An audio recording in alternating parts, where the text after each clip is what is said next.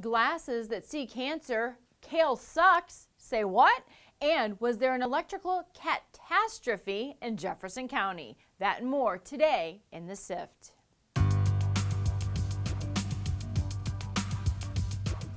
Welcome to the SIFT. I'm Gabrielle Biondo, filtering through some of the most talked about stories in St. Louis. New developments in the fight against cancer, and it's happening right here in St. Louis.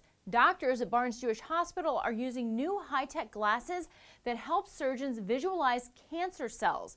They glow blue when viewed through the eyewear. Now, the technology is so new, it's not even named yet, but it was used during surgery for the first time Monday at the Siteman Cancer Center.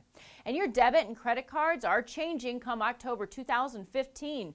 In response to the recent security breaches, the Wall Street Journal reports Visa and MasterCard are saying bye bye to the swipe strip and hello to microchips. They'll be embedded in our cards just like they are in most of the rest of the world, and we will no longer be signing those credit card receipts. SLU's men's basketball team is getting attention from a national media outlet, and it's pointing out the lack of attention the team is receiving after its amazing performance this season.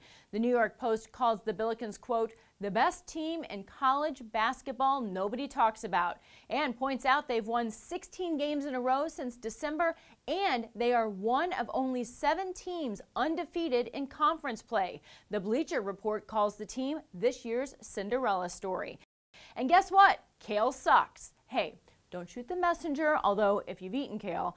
Anyway, that claim is according to a recent survey in the Huffington Post. Chefs revealed the most over and underrated vegetables, and in St. Louis, Pastaria chef Gerard Craft says summer squash is the most overrated, mostly because it's often overcooked. His most underrated? Broccoli. He likes it roasted, grilled, steamed, and raw.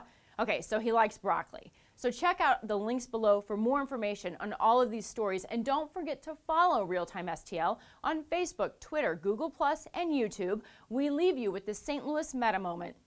Ah, uh, cats, gotta love them until they knock your power out, which is what we think happened in Jefferson County based on this Facebook post.